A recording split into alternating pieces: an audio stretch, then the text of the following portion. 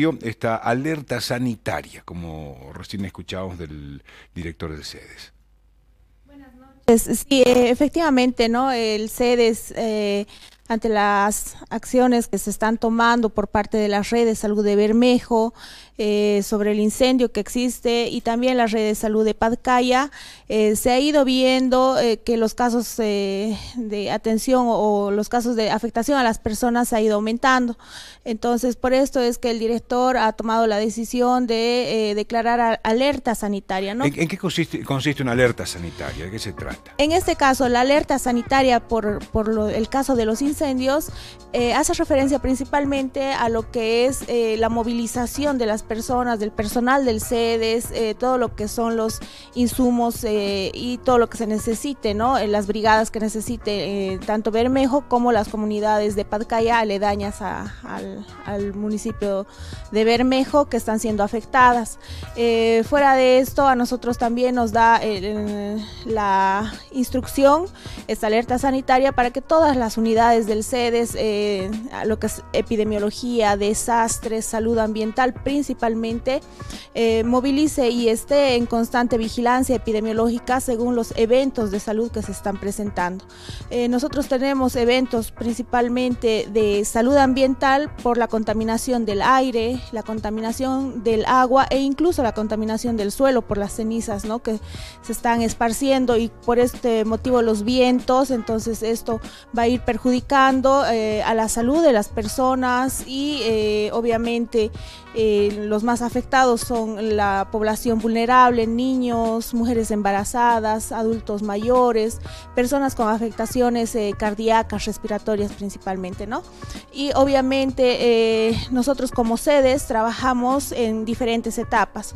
Una mm, primera etapa que es durante el incendio que se ha participado con las evaluaciones, monitoreos de, de los lugares. Desde que se, ha reportado, bueno, empezó eh, hace bastante tiempo atrás, pero cobró intensidad los últimos días del mes de octubre. Eh, ya se movilizaban. Sí, eh, nosotros estamos movilizados desde el primer incendio, existe ¿no? una alerta que se da, un primer reporte que se da por los lugares afectados, el personal de salud reporta, obviamente cada institución hace su trabajo, lo que son bomberos y personal de apoyo va a hacer la mitigación eh, o control de los incendios y nosotros como personal de salud atender tanto a las brigadas como a las poblaciones cercanas. ¿no? Esa sería una primera etapa en la que participa el CEDES que, estuvieron con el área de desastres. Desde el 25 más o menos. Sí, eh, incluso de mucho más antes, ¿no? el 25 con eh, mayor énfasis en, en, lo que es la zona de Bermejo y el área de Padcaya. Eh, y no es solamente que se apaga el incendio y ya está atendido, resuelto el tema. El, problema persiste, ¿no? Eh, hay que seguir trabajando en eh, lo que viene a ser el post-incendio, esto que nos estaba también señalando, la contaminación de fuentes de agua, y allí vienen obviamente autoridades en salud para brindar todas las recomendaciones. ¿Qué se contempla en esto? Ya nos advertían que las principales fuentes de agua van a ser contaminadas cuando caiga toda la ceniza, ya llovió, ya cayó, eh, ya están afectados.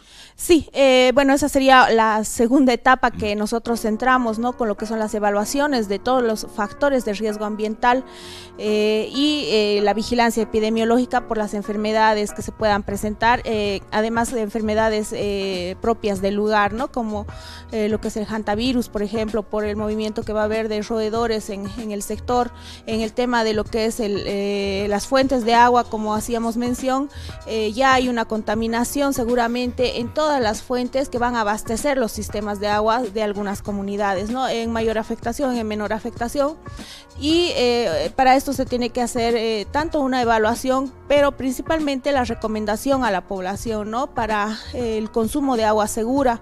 No nos olvidemos que en la mayoría de las comunidades o de los sistemas de agua del área rural de todo el departamento, el agua no es tratada como tal, ¿no? Solamente es agua a través de un sistema o agua por cañería y las recomendaciones que continuamente da el personal de salud para consumir agua segura es hervir el agua. En este caso, aparte de tener que hervir el agua, se solicita a la población que se pueda realizar eh, la filtración de la misma, ¿no? Por la presencia de partículas que va a acarrear justamente por lo que son las Pueden filtrar agua aparte de hacerle hervir, esto para, para garantizar. La filtración mm. y lo que es el hervido, para garantizar el agua segura y evitar las enfermedades que obviamente van a ser consecuencia de estos incendios. ¿Qué tipo de enfermedades podrían venir?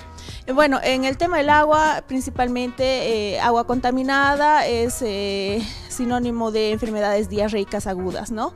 Eh, lo que son los niños son los más afectados, es una zona, eh, además eh, las zonas rurales son las que están siendo más afectadas y bueno, pues en este lugar es donde menos cuidado se tiene tal vez para los infantes, ¿no?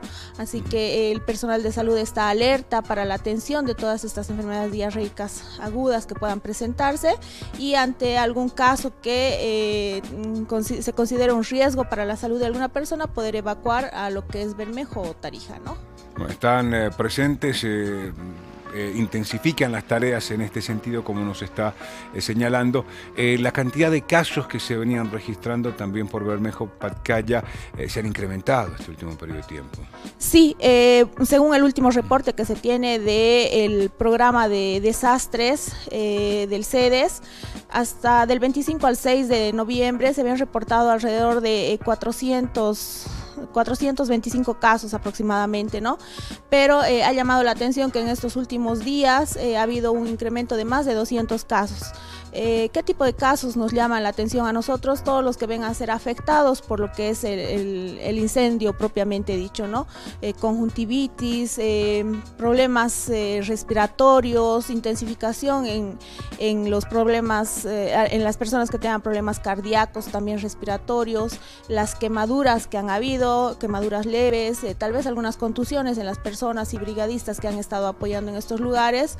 Y eh, bueno, esos serían los principales casos que se han ido presentando en estos momentos, ¿no? Para que bueno, se intensifiquen las tareas, para que se pueda tomar eh, conocimiento de esto. Eh, se ha declarado, como nos decían, una alerta sanitaria para que se puedan movilizar. Y el tema de los incendios eh, no se fue, no solo es en esta zona. ¿Qué pasa, por ejemplo, en la, por la reserva de Tariquía? incendios que, todavía persisten, la, la zona de, Chiquiacá registra incendios. Y esto viene a ser verdaderamente un, un problema porque no salimos de una y entramos a otra y esto continúa y es de extrema preocupación. Eh, justamente por eso el CEDES ha estado trabajando eh, a, la presencia de cualquier foco, por más pequeño que sea, el personal de salud debe reportar al CEDES, ¿no? a, las, a las unidades que correspondan entre epidemiología y el programa de desastres primeramente, para tomar las primeras acciones. Eh, ya durante el incendio, la atención médica que se brinda a todas las personas afectadas y post incendio que se tiene que entrar ya con mayor fuerza como CEDES porque se tiene que realizar la vigilancia epidemiológica a los casos que se puedan presentar, ¿no? Eh, por, como decíamos, el movimientos roedores eh, y demás. Y además de todo lo que va a ser eh, las contaminaciones ambientales, tanto de agua, suelo y aire, que va a ir provocando enfermedades todavía mientras exista la presencia de las cenizas, ¿no? Las cenizas y el movimiento de estas por el viento, obviamente los lugares más afectados se van a tener que tener mayor cuidado, mayor vigilancia epidemiológica por parte de lo que es el personal de salud. Vamos a tener nosotros continuar con el trabajo, no termina por la mitigación del incendio, para nosotros más bien inicia un trabajo de seguimiento y estar más alertas que eh, cuando estamos en pleno incendio. ¿no? Y ahí nos mencionaba eh, que por el tema de incendios escapan los roedores, viene el peligro de casos de antivirus, que esta ya es zona endémica eh, y las altas temperaturas. Así es, bueno, las altas temperaturas van a provocar que estos roedores puedan huir a lugares poblados, ¿no? Porque son, son ellos están constantemente en lugares que no existe población humana, ¿no?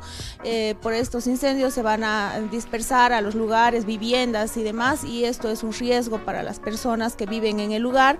Eh, no nos olvidemos que el hantavirus es una enfermedad mortal, entonces eh, las recomendaciones a, las poblaciones que, de estos sectores que tengan los cuidados, ¿no? Que eso ya epidemiología está mandando también personal especializado en el tema para la orientación y el seguimiento de estos casos. Alerta sanitaria por incendios en Tarija. Esta es la determinación del Servicio Departamental de Salud para que puedan estar atentos, intensificar el trabajo eh, a raíz de estos incendios que se han venido registrando. Lo que nos relataban días atrás y hemos compartido en entrevistas en el programa era eh, bueno, ese respirar humo, ese, el tener que encerrarse en casa, en Bermejo, para que la gente no, no, aspire esto, o en muchos casos a personas adultos mayores hasta sacarlas de Bermejo, traerlas a, a Tarija, llevarlas a otro lugar las propias condiciones que se estaban dando. Esto se va a ir disipando, pero este trabajo que ahora viene, eh, tenemos que estar atentos y, eh, bueno, eh, sencillamente atender todas las recomendaciones que nos vienen dando